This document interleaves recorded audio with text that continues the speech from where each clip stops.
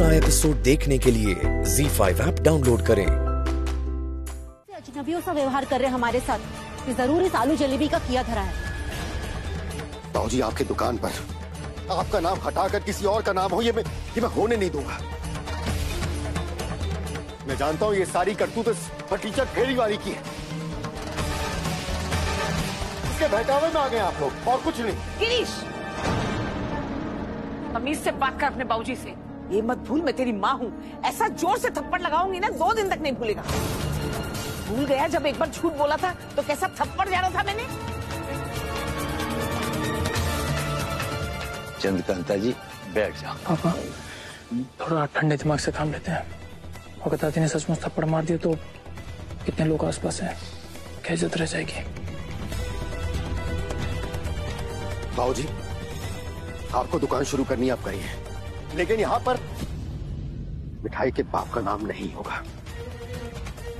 और दूसरी बात अपने बेटे के मुकाबले आप दुकान शुरू करेंगे क्या मैसेज जाएगा बाहर आपकी दुकान डूबेगी हमारा नाम डूबेगा। हाँ बोल। क्या तमाशा कर रहा है? ऑर्डर ले रहा हूँ मैं। आपका बाप को बेटा से इजाज़त लेनी पड़ेगी? कि अपनी दुकान कैसे चलानी? है क्या हो गया बाबूजी आपको? क्यों कर रहे हैं ये सब आप? बाबूजी आपकी उम्र हो चुकी है। चार धाम यात्रा पे जाइए, टिकट मैं बुक करके देता हूँ आपको। लेकिन अपने बेटे से मुकाबला करके क्या मिलेगा आपको? क्यों चल रहे ऐसी चालें?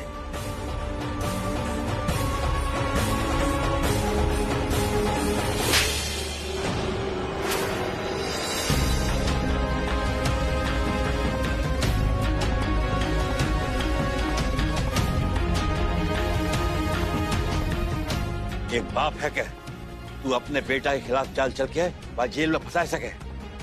तो याद रख, मैं तेरा बाप हूँ। तेरी हर चाल को जवाब दे सकूँ मैं। ये थप्पड़, ये समझावे के लिए हो कि उल्टा जवाब और धमकी बाप को ना दे।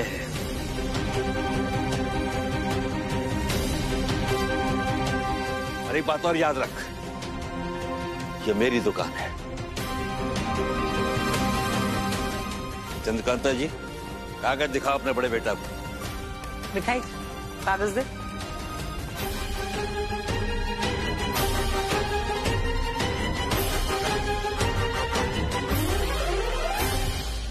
ये लीजिए। देख। बाप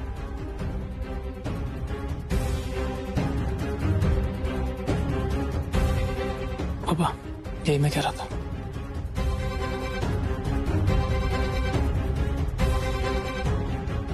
सब जगह बड़े पोते इसको संभाल के रखिए।